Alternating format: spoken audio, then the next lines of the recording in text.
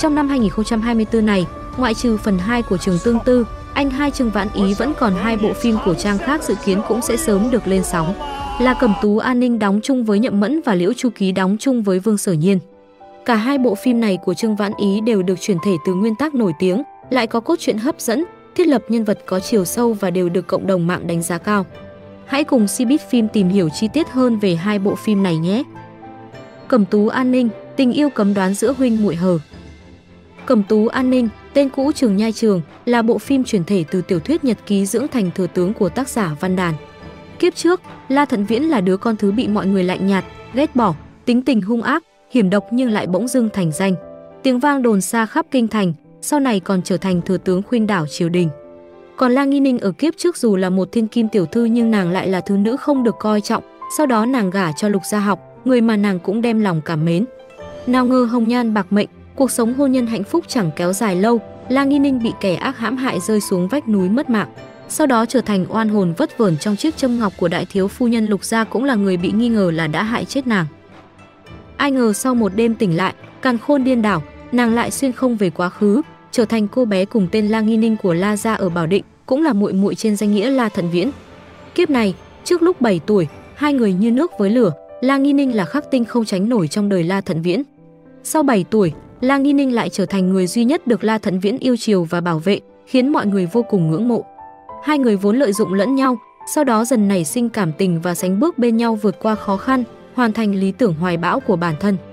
Theo diễn biến về sau của Cẩm Tú An Ninh, khi thân phận thực sự của La Nghi Ninh được phơi bày, thì La Nghi Ninh và La Thận Viễn sẽ gỡ bỏ thân phận anh em một nhà, thuận thế kết hôn giả, vừa hay hoàn thành ước nguyện tình cảm đôi lứa. Trong tác phẩm này, Nhậm Mẫn vào vai La Nghi Ninh, đích thứ nữ của La Phủ.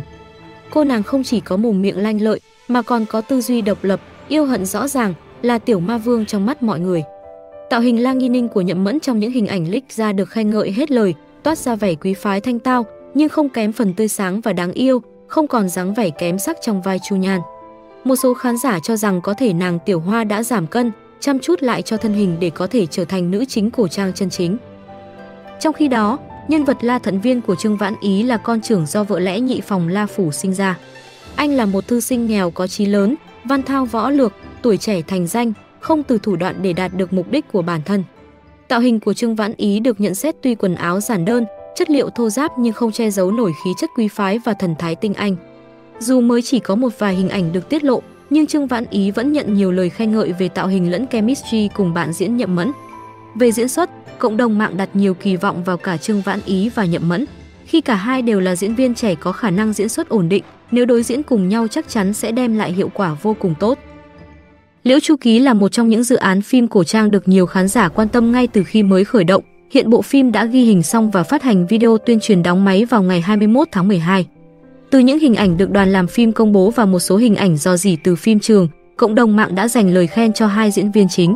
Cả về tạo hình và tương tác của Trương Vãn Ý và Vương Sở Nhiên, cũng như những lời khen cho Liễu Chu Ký về màu sắc, bối cảnh và góc quay của phim. Cộng đồng mạng đặt niềm tin rằng Liễu Chu Ký chắc chắn sẽ là một bộ phim có chất lượng cao khi lên sóng. Nguyên tác của Liễu Chu Ký được đánh giá là hấp dẫn, vì thế bộ phim cũng thu hút nhiều người ngóng đợi ngay từ ban đầu. Liễu Chu Ký là bộ phim được chuyển thể từ tiểu thuyết Kiều Tàng của tác giả Cùng Thượng Gia Cuồng. Tác phẩm nguyên tác được lấy cảm hứng từ giai thoại Kim Ốc Tàng Kiều của Trung Quốc, có nội dung xoay quanh cuộc đời của nữ chính Liễu Miên Đường, Vương Sở Nhiên, con gái của một gia đình quan lại đang lâm vào cảnh xa sút, nàng được gả vào kinh thành cho một thương nhân tên là Thôi Cửu. Nhưng giữa đường rước dâu sự cố lại xảy đến khi Liễu Miên Đường bị thổ phỉ cướp dâu, khiến nàng trở thành áp trại phu nhân của một tên phản tặc. Thế nhưng, đây chỉ là một vỡ kịch, thân phận thật sự của Liễu Miên Đường chính là đại đương gia của bang thổ phỉ này, từng nhiều lần đối đầu bất phân thắng bại với Hoài Dương Vương Thôi Hành Chu, Trương Vãn Ý. Nhưng sau một biến cố nọ, Liễu Miên Đường bị trọng thương nặng tới mức hôn mê mấy tháng liền. Đến khi tỉnh dậy thì không còn nhớ rõ được những gì xảy ra sau khi gả chồng, nên đã lầm tưởng Hoài Dương Vương là người chồng tên Thôi Cửu mà mình đã gả trước đó. Hoài Dương Vương dù biết rõ mọi chuyện, nhưng y vẫn quyết định giả làm thương nhân Thôi Cửu, lợi dụng Liễu Miên Đường để làm mồi nhử cho mục đích của mình. Thời gian trôi qua, Thôi Hành Chu dần đem lòng yêu người vợ hờ Liễu Miên Đường. Nhưng lúc này, Liễu Miên Đường cũng vô tình biết được người chồng hiện tại của mình không phải là Thôi Cửu thật sự, khiến cho Hoài Dương Dương phải đau đầu nghĩ cách truy thê vất vả. Cũng kể từ đây, những bí mật động trời đang ẩn giấu phía sau sơn trại thổ phỉ kia cũng dần được hé lộ. Tạo hình của Trương Vãn Ý trong Liễu Chu Ký mang đậm chất vương giả và uy quyền, còn Vương Sở Nhiên vừa đẹp nữ tính dịu dàng, vừa mạnh mẽ phóng khoáng. Cộng đồng mạng nhận xét dựa trên tạo hình ít nhiều cả hai đều thể hiện được hình ảnh của nhân vật trong nguyên tác gốc. Thêm vào đó, tương tác giữa Vương Sở Nhiên và Trương Vãn Ý trên phim trường cũng thoải mái và dễ thương, khiến độ hóng phim càng tăng vọt. Về phần diễn xuất, khán giả không quá nghi ngờ về khả năng diễn xuất của nam chính Trương Vãn Ý, nhất là sau những dấu ấn mạnh mẽ từ cú nổ mang tên Trường Tương Tư. Trương Vãn Ý đã cho thấy được khả năng diễn xuất của mình khi thể hiện tròn trịa tâm địa phức tạp của nhân vật Thương Huyền. Vai diễn Thôi Hình Chu trong Liễu Chu Ký cũng là một nhân vật khá phức tạp và Trương Vãn Ý đã cho thấy diễn xuất của anh hoàn toàn đủ sức đảm đương. Dù đoạn video do đoàn phim công bố khá ngắn, nhưng khán giả có thể nghe rõ được đài từ chắc chắn trong từng câu chữ của Trương Vãn Ý. Khả năng diễn xuất bằng mắt vẫn tốt như mọi khi, cùng với đó là phong thái nho nhã cao quý của Hoài Dương Vương. Ngược lại, ở phía nữ chính Vương Sở Nhiên, cộng đồng mạng cũng bày tỏ lo ngại ít nhiều, nhất là khi trong năm nay cô có hai bộ phim lên sóng đều không quá thành công. Trong Ngọc Cốt Giao, Vương Sở Nhiên khá nhạt nhòa dù nhân vật của cô khá sắc sảo, nhưng dù vậy vẫn còn đỡ hơn nhân vật hứa thấm trong khói lửa nhân gian của tôi. Với cú ngã quá đau của khói lửa nhân gian của tôi, có thể nói dự án Liễu Chu Ký sắp tới rất quan trọng với Vương Sở Nhiên. Theo nguyên tác, nhân vật nữ chính do Vương Sở Nhiên đảm nhận được thiết lập rất thú vị, rất dễ thuyết phục khán giả yêu thích. Vì thế vai diễn này nếu thành công sẽ giúp nữ diễn viên gỡ gạt lại hình tượng và duyên qua đường của mình. Trước mắt, khán giả đã chấm điểm cộng cho tạo hình của cô, phần còn lại phải chờ diễn xuất quyết định. Ngoài Trương Vãn Ý và Vương Sở Nhiên, bộ phim Liễu Chu Ký còn có sự tham gia của Lưu Lệnh Tư, Thường Hoa Sâm, Trương Thị, Viên Vũ Huyên.